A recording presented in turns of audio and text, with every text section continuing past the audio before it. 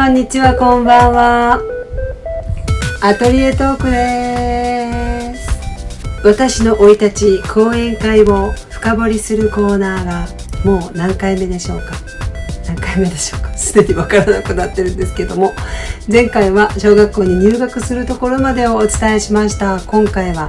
1年生の時どういう生活をしたのかというところを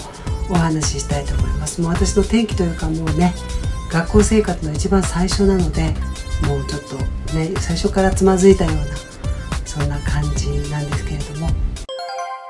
とにかく小学校1年生の頃は泣き虫な私でした。もう勝ち気というよりもどっちかって言ったらもう学校でいじめられて泣いて帰るみたいな。もう先生にも怒られるしクラスメートの男の子にも「おかま」とか「男女」とかそんな感じでもう毎日毎日いじめられて毎日いじられてたので本当にそうやって泣いて帰るようなそれもそのはずテレビではやっぱりすごかったです。今では考えられないんですけれども「おかま」とかいう言葉がテレビで叫ばれてたし今でいう LGBT の人たちはもう笑いの対象いじられる対象っていう感じだったので私的には「おかま」って言われることがもうそのことだけで嫌な感じいじめられてる悪意を持って言われてるようなそんな感じだったんですねそれと同時にその時ちょうどカルーセルマキさんとかがテレビに出ててもう大変申し訳ないしもうねいろいろ気づいてこられた方で大変申し訳ないんですけれども当時の私から言うと大変迷惑でしたなぜかというともうテレビで「私おかまよ!」とか「おかまおかま」とか自分でこう自分のことを「おかまおかま」って言ったりしててバカにしたり笑った人たちをバーッと毒舌で何かを言うとか怖いなっていうイメージがあったんですね。おすぎとピーコさんも自分のことをこう「おかまおかま」って言ってで、まあ、そうしないといけなかったのかななんていうのはあるんですけれども当時の私はもう自分ではなんかちょっと女の子みたいな そんな感じだったんですね。で自分では自分らしくしてるだけ。喋り方も仕草も全部自分らしくしてるだけなんですけれどもそうすると周りの大人は機嫌が悪くなるというかもう散髪事件でも言ったんですけれども私が散髪をして髪が短くなると周りの大人は機嫌が良くなるみたいな。散髪をしたら大人って機嫌が良くなるんだみたいな。そういう感じで思ってたんですね。小学校に入るとおとなしく散髪屋さんに行くみたいな。それでもなんか抵抗しながらお兄ちゃんが2回行くところを1回にごまかすとかそういうことはしてたんですけれどもそれでもなんか髪を伸ばさせてはもらえなかったみたいな。先生は本当に厳しかったです。シャキッとしなさい。男らしくしなさい。そして男の子たちに「おかま」って言われて泣くでしょ？私が。泣いて「おかまって言われた」って言ったら先生にも「あなたはおかまよ」って。言われるのが嫌やったら男らしくしなさい。シャキッとしなさい。言われるあなたに理由があるって。いじめられるあなたに理由があるからいじめられてるの。わからないそれが。そうやって言われたのがもう記憶に焼き付いてます。ねでも私は何も悪いことをしていないと。言い続けたけれども悪いことはしてないけれどもシャキッとしなさいだったら。あなたがシャキッとしてないから皆さんにいじられるのって。いじられたくなかったらいじめられたくなかったらシャキッとしなさいって。もう責任は私なんですね。責任が私。子供ながらに理不尽だなって。なんでかなって。そしてもちろん黒いランドセルは嫌なので学校に行く途中にこうバンバンバンバンぶつけて当時のランドセルは丈夫だからそんじょそこらじゃ壊れないのよ。結局毎日毎日ぶつけて壊れたのは5年生の5年生入る頃だったんですけど。1年生の頃からなんかなんとか潰れないかなと。だから潰れると普通のなんか家にあるカバンでいけるかなっていうちょっとねそういうのがあったのでもう入学してからもこうカバンをぶつけてこう大事にはしないみたいな。そして当時私やっぱ鼻がそんなに良くなかったのでもうこの辺が常に鼻が吹いてもう鼻水でテカテカだったっていう思い出とかあの講演会ではすごくなんかもう勝ち気でやり返したっていうお話もしてるんですけれども、まあ、1年生と2年生をもうね講演会って時間が限られてるので1年生と2年生で会ったことをもう一気に話してるって感じなんですけれども1年生と2年生が同じ担任の女性の先生だったのででもいきなりその私がこの仕返しっていう発想までにはならないんですね。とにかくもう1年生の1学期は泣いて学校に帰る子みたいな泣き虫泣きべそこうちゃんみたいな。でも先生から1年生にもなったんだから僕って言いなさいって言われたんですけれども自分の中で今思ったらやっぱり女の子だったんでしょうね。どうしても僕って言えないんですよこうちゃんが精一杯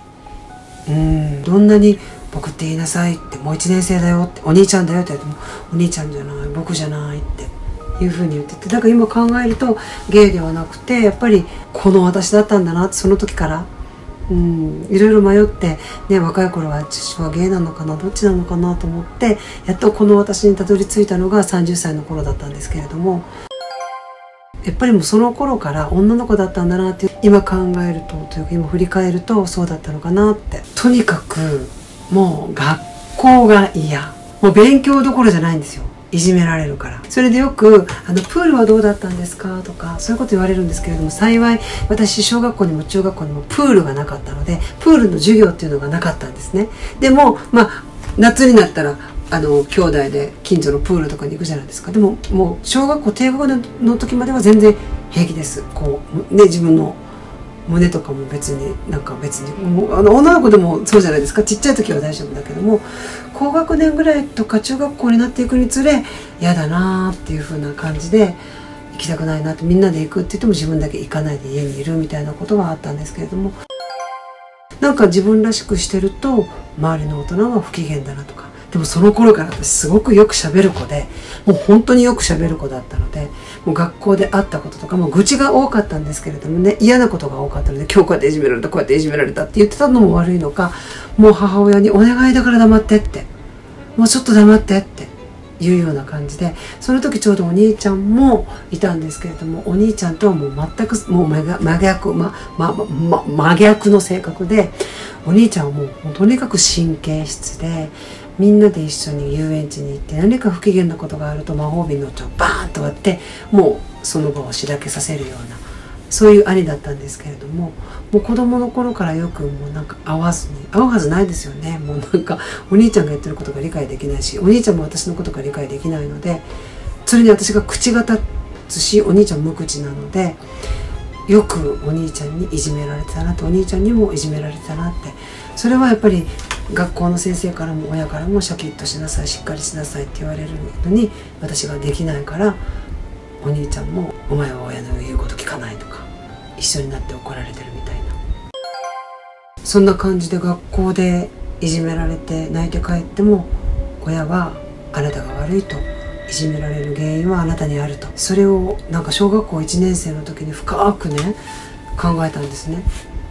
いじめられるっていうのはいじめる方が悪いんじゃなくていじめられる方が悪いんだいじめられる方に原因があるんだって。そんなことを感じたのを覚えてます私何も悪いことしてないのになって。自分が自分らしくしてるだけでなんで周りの大人から怒られるんだろうって。どうして自分が自分らしくしてるだけで周りの大人からそんな風に嫌がられるんだろうって。なんかそれがずっと思ってた思い出ですね。はい。小学校1年生の1学期はそんな感じでまだ戦いが始まるというか、まあ、先生とはねバチバチありましたけれども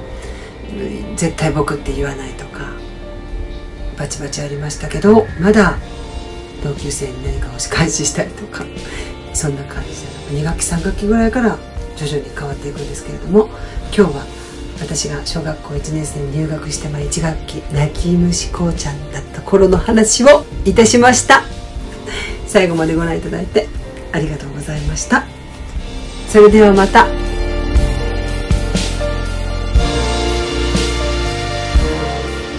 も最後までご覧いただいてありがとうございます。ちょっと最後に皆さんにお願いがあります。私の初期の画集に大変お問い合わせをいただいてるんですけれどももうどちらも絶版で手に入らない状況でそれでも毎日お問い合わせいただいてもうごめんなさいを言うのがすごく心苦しくてそんな時に視聴者の方が復刊 .com というサイトを教えてくださいました。もう絶版になって手に入らない本をリクエストが多かったら復刊 .com が出版社に掛け合って復活させてくれるというそういうサイトを教えていただいたので動画の下の説明欄に貼っておきます。よかったら皆さん投票お願いします。動画のタイトルをクリックまたはタップで説明欄開きます。そこの復刊 .com の URL 両方のリクエストページ貼っておきますのでよかったらログインが必要ですけれどもお手数ですけれども投票していただけたらありがたいです。応援よろしくお願いします。